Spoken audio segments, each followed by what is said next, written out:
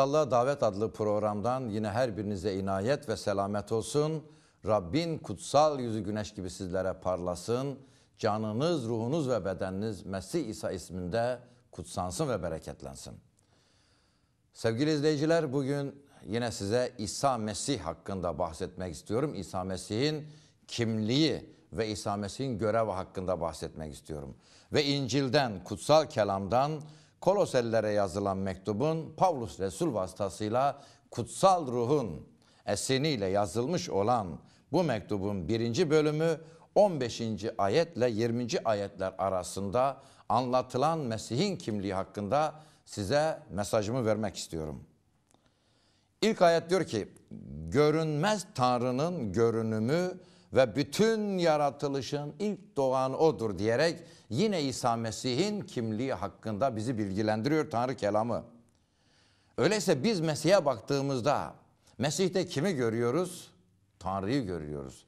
Ne diyor? Görünmez Tanrı'nın görünümü. Bütün yaratılışın ilk doğanı. Yaratılış var olmadan önce var olandır Mesih İsa. Bu yüzden de diyor ki bütün yaratılışın ilk doğanı. Biz bu kutsal kitabı okuduğumuzda Tevrat'ın en baş ayetlerinde Tanrı'nın dünyayı nasıl yarattığını görüyoruz. Kendi sözüyle nasıl her şeyi şekillendirdiğini görüyoruz. Ama bu yaratılış var olmadan önce bugünkü heveslendiğimiz, vazgeçemediğimiz dünyanın teşkil edilmesinden önce var olan biri vardır ki bütün yaratılışın ilk doğanıdır diyor. Bakın doğmuş olmak için var olmak lazım. Bir anne hamile ise karnında çocuk varsa doğurur. O çocuk var idi ki doğdu. Öyleyse ilk doğanı derken vardı ne oldu? Şekil aldı. Şekil alarak bizim aramıza geldi. Bunun için de diyor ki Tanrı'nın görünümüyle. Çünkü Tanrı'nın görünümü nedir? Tanrı'nın görünümü şimdi kaş göz değildir elbette ki. İsa Mesih'e baktığımızda İsa Mesih'in kaşına gözüne bakmayacağız. Haşa Tanrı'nın bu şekilde bir tipi yok.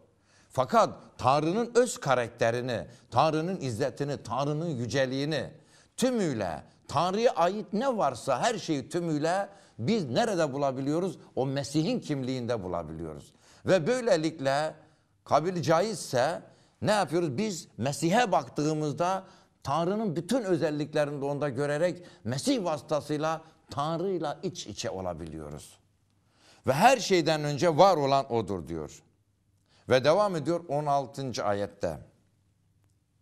Nitekim yerde ve gökte görünen ve görünmeyen her şey bakın hem yerde hem de gökte hem görünen hem görünmeyen göklerde birçok şeyler var ki görünüyor ama görünmeyen de çok şeyler var. Bugün teleskoplarla arayıp da bulmaya çalışıyorsun gök cisimlerini. Öylesine bir dünya var ki orada, öylesine bir harika yaratılış var ki. İşte o gördüğün şeyler. E bir de ruhlar alemi vardır. Cin, şeytan, diğerleri. Onlar gökte görünen görünmeyen, yerde görünen görünmeyen her şey. Tahtlar, egemenlikler, yönetimler, hükümranlıklar bu olsun cin dünyasına ait, şeytana ait yönetimler. Ki elbette ki başlangıçta şeytan bir melekti. Cinler de yoktu. Onlar da bir meleklerdi ama şeytan saptı. Saptığı için şeytan oldu. Meleklerin bir kısmı da saptığı için cin oldular. Ama yaratılış, onların yaratılışı ve diğer gök cisimlerinin yaratılışı, dünya sisteminin kuruluşu, her şey, yönetimler, hükümranlıklar onda yaratıldı. Kimde yaratıldı? O dediği Mesih. Mesih'te yaratıldı. Öyleyse Mesih'in içerisinde bu tanrısal cevherin kendisi var. Çünkü Mesih Tanrı kelamının kendisidir kardeşler. O yüzden de şekil aldı. Nasıl ki Tanrı ol dedi. Oldu her şey. İşte Tanrı'nın içinden çıkan bu söz, Tanrı'dan gelen bu söz ne yaptı? Beden aldı ve her şeyi teşkil etti ve her şeyi yarattı. Her şey diyor onda yaratıldı. Yaratılışın başlangıcında var olan, dünya var olmadan önce var olan Mesih'in kendisidir kardeşler. Her şey, bütün yaratılış Mesih'e secde etmek durumundadır. Çünkü niye? Yaratılışın kaynağı odur. Her şey onda yaratıldı ve devam ediyor bakın. Ve her şey onun aracılığıyla Mesih'te yaratıldı ve Mesih aracılığıyla yaratıldı. Ve devam ediyor tekrar. Daha da ileriye gidiyor kelam. Daha da derin sırları bize açıyor. Ve diyor her şey onun aracılığıyla ve onun için yaratıldı.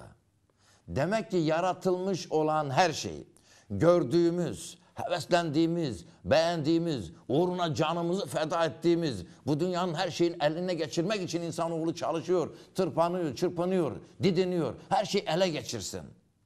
Ve bu dünyadan vazgeçmek istemiyor. Her şey onun aracılığıyla onun için yaratıldı. Demek ki her şey kim için yaratılmış? İsa için yaratılmış. Her şey İsa Mesih'in yüzü suyu hürmetine yaratılmış kardeşim. Eğer bugün sen varsan sen varlığını Mesih'e borçlusun. Ve eğer bugün yaşıyorsan yaşamını Mesih'e borçlusun. Elinde avucunda ne varsa onu Mesih'e borçlusun. Kabul etsen de etmesen de bugüne kadar belki bilmiyor olabilirsin ama ona borçlusun. Bunları ben kendimden söylemiyorum. Şimdi ben söylediğim zaman belki bana sitem edebilirsin, söylenebilirsin, kızabilirsin. Ama bana değil. Tanrı kelamına verecek cevabın varsa ver. Tanrı'ya verecek cevabın varsa ver, veremezsin. Bunun için içindeki bütün düşünceleri Rabbe ait olmayan, Rab'den gelmeyen her türlü düşünceyi üzerinden sıyır at ve bu hakikate kendini teslim et. Eğer sen bu hakikate kendini teslim edersen selamet bulacaksın, kurtuluş bulacaksın, bereket bulacaksın. Ne diyor? Her şey onda yaratıldı, onun aracılığıyla yaratıldı ve onun için, Mesih için yaratıldı. Her şey Mesih için yaratıldı. Ve her şeyden önce 17. ayet her şeyden önce var olan odur ve her şey varlığını onda sürdürmektedir. Her şeyden önce ne varmış? İsa Mesih varmış. Ve her şey varlığını nerede sürdürüyor? Mesih'te sürdürüyor. Çünkü İsa Mesih yaşamın kaynağıdır. O yüzden de İsa Mesih şunu söylüyor. Ben sizde yaşam olsun. Ben sizde hayat olsun. Hem de sizde bol hayat olsun diye geldim diyor. Bunun için sevgili kardeşler, eğer hayata yani yaşama, sonsuz yaşama, ebedi yaşama erişmek istiyorsak ve bu yaşam içerisinde de iyilik günleri görmek, bereketlerle dolmak istiyorsak her şey varlığını onda sürdürdüğüne göre Mesih İsa'ya yaklaşmamız lazım. Mesih İsa ile barışmamız lazım. Mesih İsa'nın eli altında kalmamız lazım. Onun önünde durmamız lazım. Çünkü her şey diyor varlığını İsa Mesih'te sürdürüyor. Öyleyse İsa Mesih yoksa hiçbir şey de olmaz. Dünya varsa, dünya bugün varlığını sürdürüyorsa, insanoğlu varlığını sürdürüyorsa Mesih'den dolayıdır. Çünkü her şey varlığını Mesih'te sürdürüyor diyor. Her şeyden önce var olan odur ve her şey varlığını onda sürdürmektedir. Bedenin yani kilisenin başı odur. Çünkü İsa Mesih ne yaptı? Bir bedende dünyaya gelerek her şeyi yaratan ve her şeyi teşkil eden, her şeye şekil veren ve her şeyin devamlılığını sağlayan Mesih gelip insan oğlunu günahın egemenliğinden kurtarmak için bir beden alarak gelip insanlığa kendisini sundu ve insanlığı kendisine çekti. Ve kilisesini kurdu. Kilise ne demek? kutsallar topluluğu, imanlılar topluluğu, dünyadan ve günahtan ayrılanların oluşturduğu topluluk. O yüzden Mesih her şeyde egemen olduğu için o egemenliğinin kuvvetiyle ve gücüyle geldi. Gelerek insanlığa seslendi. İnsanlığı kendine çekti ve insanlığa konuştu ve insanlığı günahtan özgür kılıp yeni bir kutsallar topluluğu Tanrı'nın beğenisini kazanacak ve egemenliği, cennetin egemenliğini elde edecek olan imanlılar topluluğunu teşkil etmek için de bir beden de aramıza geldi. O yüzden bedenin yani kilisenin başı odur. Eğer ki imanın varsa imanın imanlıların başı kimdir? Mesih'tir. Başımızı Mesih çekiyor. Başımız Mesih'tir. Eğer ki başımız Mesih ise baş nasıl ki bütün bedene hükmediyorsa o zaman bizim bütün kontrolümüzde kimin eli altında olmalıdır? Mesih'in eli altında olmalıdır. Bunun için Tanrı kelamı diyor ki bedenin yani kilisenin başı odur. Kilise dediği imanlıların, gerçekte Tanrı'yı tanıyan, gerçekte Tanrı'yı arayan ve Tanrı'yı hoşnut etmek için günaha sırt çeviren ve şeytanın egemenliğini reddeden, benliğinden, arzularından sıyrılan insanın, Tanrı'yla birebir yaşam sürmek isteyen insanın bir başı vardır. Başımız Mesih'tir. Kelam öyle söylüyor. Kilisenin imanlılar topluluğunun başı Mesih'tir. Eğer ki bir kişi kilisenin dışındaysa, bir kişi kiliseye yani imanlılar topluluğuna ait değilse, o zaman başa da bağlı değildir. Eğer bir kişi başa bağlı değilse, Mesih'ten uzaktır. Ve bir kişi Mesih'ten uzaksa Tanrı'dan uzaktır. Bir kişi Tanrı'dan uzaksa ebedi yaşamdan uzaktır. Kendi zararına çalışıyor. Yaşadığını zanneder ama yaşayan bir ölüdür. Rabbin kelamı istemiyor ki kardeşim sen yaşayan bir ölü olasın. Rabbin kelam istiyor ki sende yaşam olsun. Çünkü Tanrı yaşamın kaynağıdır ve her şey varlığını Mesih'te sürdürüyor. O yüzden sen de varlığının bütün doluluğuyla gelip de Mesih'i kabul edip Mesih'in eli altına girersen, Mesih'i yüreğinin derinliğini alırsan, Mesih ile bütünleşirsen sende yaşam olacak. Sen yaşayan bir ölü olmayacaksın. Senin içinde yeni bir yaşam fışkıracak. Bu yüzden de sen gelmelisin ve kendi yaşamını Mesih'e teslim etmelisin. Kilisenin başı odur. Bizim bir başımız var. İnsanlık başsız kalmış bugün. İnsanlık başsız kaldığı için her insan değişik yollara gidiyor. Her biri kendi kafasına estiğine göre yapıyor. Çünkü niye? Baş kopmuş. Başı olmayan bir toplum ne olur? Başsız kalır. Başsız olan bir toplum da canı ne istediyse onu yapar. Gelişi güzel hareket eder. O yüzden de eğer ki Tanrı'yı baş edinirsek o zaman tek yapacağımız şey Mesih'i baş edinmek. Bedenin kilisenin başı odur. Her şeyde ilk yeri alsın diye başlangıç olan ve ölüler arasında ilk doğan da odur. Demek ki her şeyde ilk yeri kim alıyor? İsa Mesih alıyor. Dünya var olmadan önce İsa var. Öyleyse dünyaya şeytanın aldatması neticesindeki Adem'le Havva'yı kandırdı, tuzağa düşürdü. Sonra günah egemenlik sürdü ve günahla beraber ölüm geldi. O zaman öyleyse ölümden dirilen de, ölümü yenenin de o olması lazım. Her şeyde İsa Mesih birinci yeri almalıdır. Dünya var olmadan önce o vardı. Başlangıçta o vardı. Ve ölüler arasından ilk doğan da odur.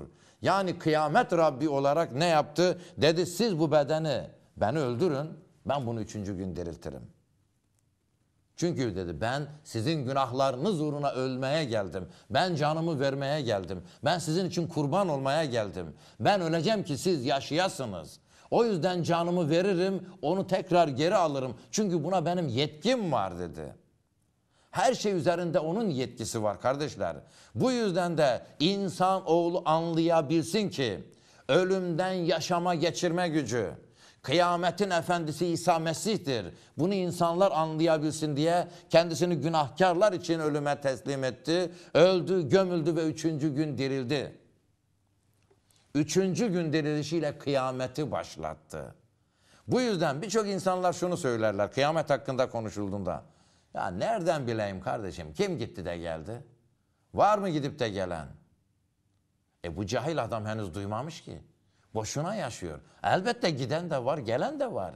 Gidip gelen biri var. İşte o da kelamın anlattığı İsa Mesih'tir. Öldü, gömüldü. Bedeni topraktayken kendisi ruhta diyor üç gün boyunca gitti ölüler diyarına İncil'i vaaz etti. Üçüncü gün o bedeni diriltti gö bütün görkemiyle. Ve dirilmiş olduğunu da harikalarla, mucizelerle gösterdi. Gelin dedi, gelin. İmansız olmayın. Şu elimdeki çivi izlerine bakın.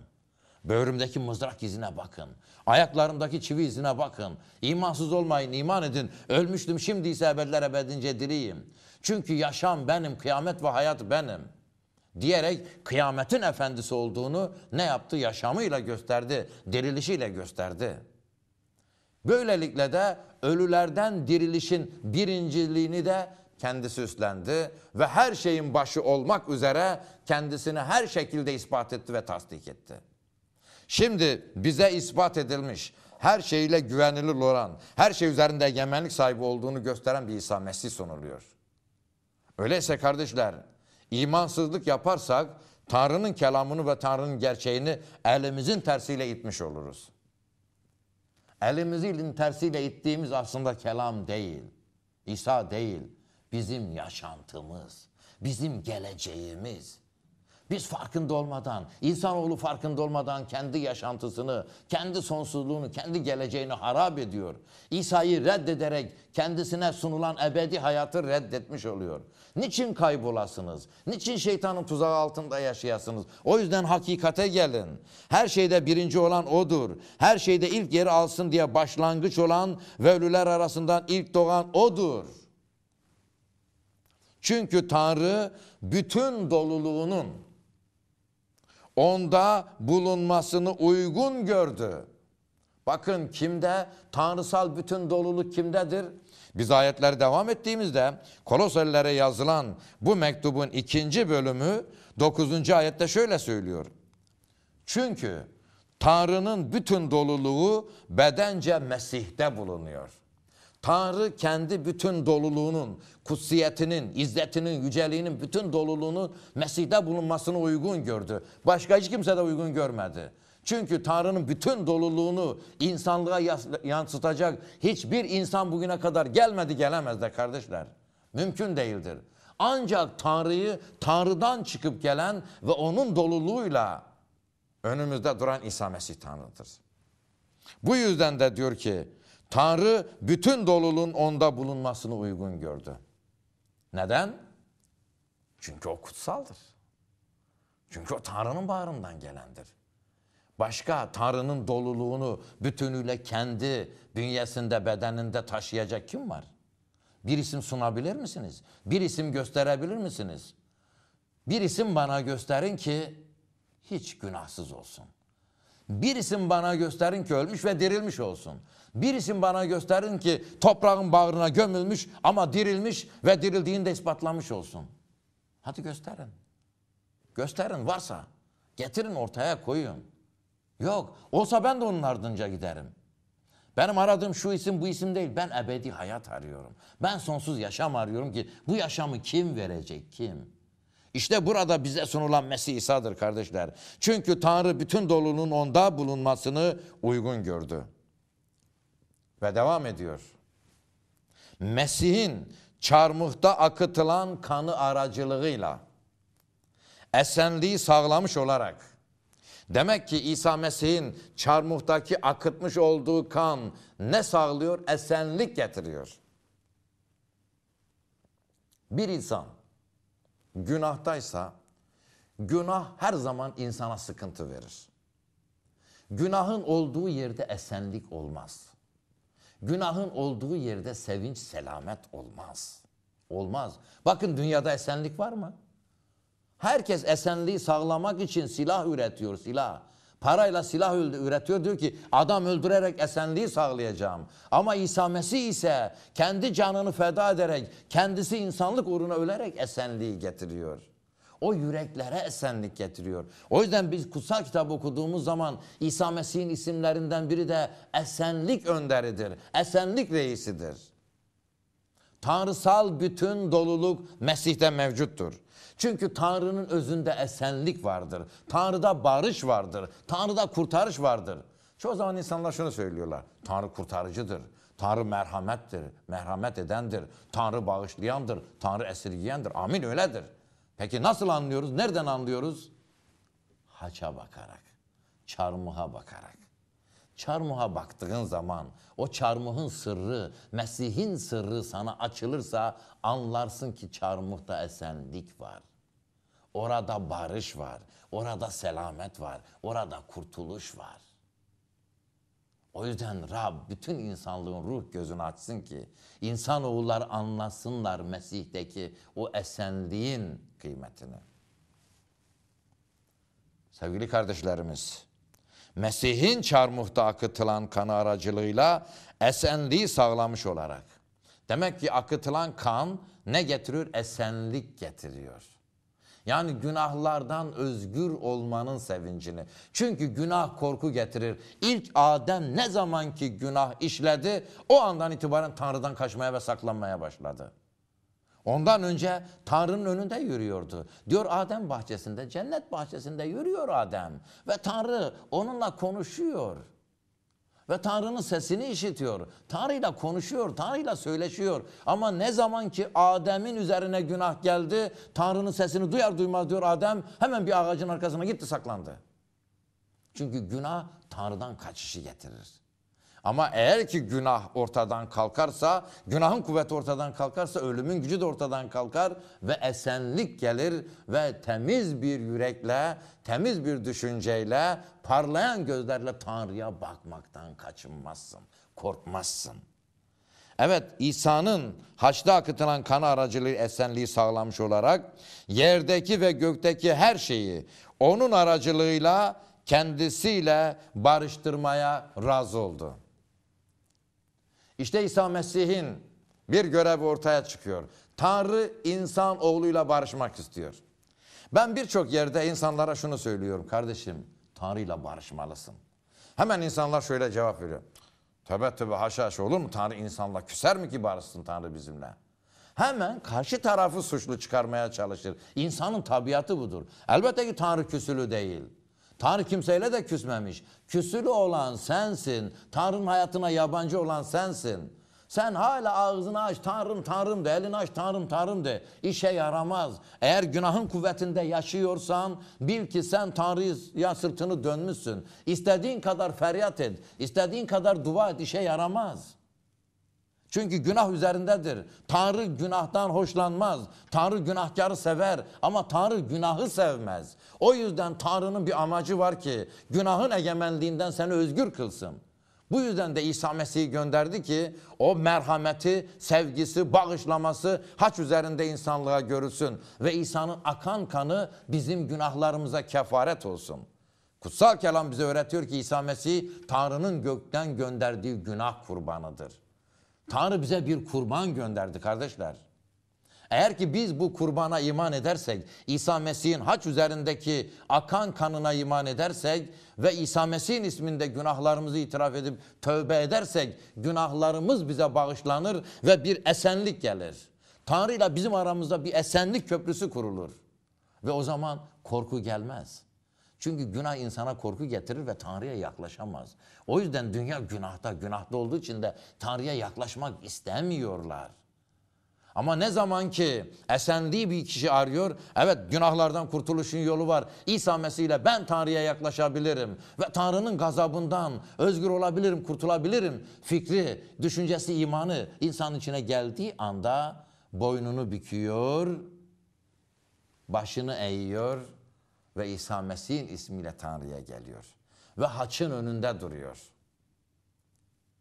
O haçın önünde duruyor ve yüreğinde şunu düşünüyor. Niçin bu çarmıh var? Niçin İsa haç üzerinde çarmıhta kanını döktü? Tanrı sevgisini ve merhametini burada gösteriyor. O tanrısal sevgiyi ve merhameti haçın üzerinde görüyorsun ve diyorsun ki Rab beni bu kadar çok mu sevdin? Bu kadar çok mu sevdin ki günahlarından dolayı gelecek olan o cehennem cezasını üzerine aldın ve bu kurban vasıtasıyla benim günahlarımın bedelini ödedin. Benim günahlarımın kefaretini ödüyorsun. Evet günahların bedeli ödenmediği müddetçe, tövbe olmadığı müddetçe, tövbeden, tövbe vasıtasıyla gerçek İsa Mesih'in haçta döktüğü kana imanla yapılan tövbe olmadığı müddetçe Tanrı'yla barışamazsın. Davanı bu dünyada göreceksin sevgili kardeşim bu dünyada. Hele oraya gidelim de orada davayı çözeriz olmaz. Ve oraya gidelim cezamızı çekeriz neyse bedelini öderiz yanarız biraz cehennemde sonra dışarı çıkarız. Kimse seni aldatmaz. Oraya girdikten sonra bir daha çıkamaz.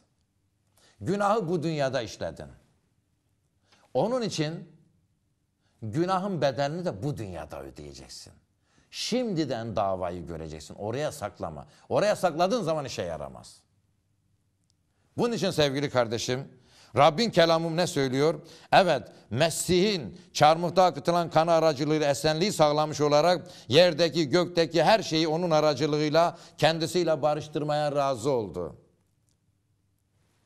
Tanrı diyor gelin ve şimdi benimle barışın. Size barış aracını, barış prensini gönderiyorum. İsa Mesih gökten size geldi. Tanrı size barış elçisini gönderdi. Kendi sözünü gönderdi. Kendi oğlunu gördü, gönderdi. Senin günahların için kurban olan İsa şimdi sana sesleniyor. Gel, gel kanımın altına sığın ve benim ismimle kurtuluşa er ve Tanrı'yla barış. Barış çünkü Tanrı seni seven sana elini uzatıyor ve bana gel diyor. Sevgili kardeşim, benim duam şu ki, Rabbin ruhu üzerinde dolu dolu işlesin. Ve sen de bu barış prensinin sesini işitesin. Bu Tanrı'nın haç üzerinde göstermiş olduğu merhametin derin sırrına erişesin. Ve İsa Mesih'in haçta döktüğü kanın senin günahların için akmış olduğuna iman edesin. Ve o kanın kuvvetinde olan kurtuluşu yüreğine alasın ve tövbe edip İsa Mesih vasıtasıyla Tanrı'yla barışasın. Tanrı size barışın kapısını açtı. Gelin bugün kabul edin, yüreğinizi alın ve İsa Mesih'in adıyla Tanrı'ya barışın ve esenliğe erişin. Ki ebedi krallık sizin olsun. Rabbin ruhu bütün doluyla üzerinizde işlesin. Selamet sizinle olsun, selamette kalın. Amin.